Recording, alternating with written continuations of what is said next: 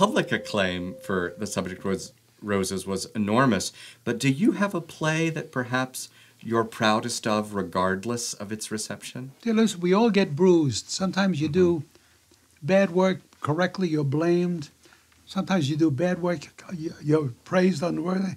Every once in a while, you do good work, and it's not rewarded. And those are the ones that really hurt you. And I, so I did a play some years ago, which is actually a prequel to Roses. It takes place in another place. Any given day, correct? Any given day, yeah. Just a lovely play. Everybody, the actors, everything was great. And we got lovely notices. And uh, what killed us, really, we took a dip at a Saturday matinee, which w- when we thought no critic will be there.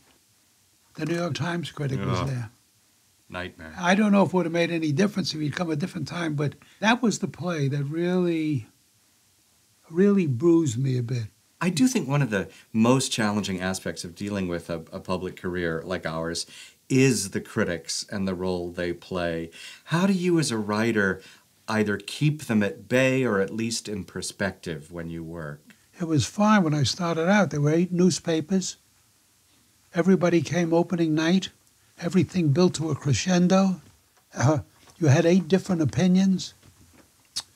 Then, for the last many years, uh, the only only the Times critic really matters. No, no, the other papers are gone.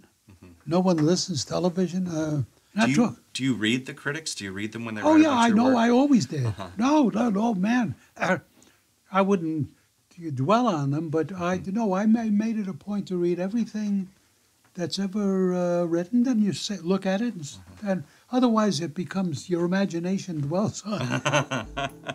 yeah, and you, you go on.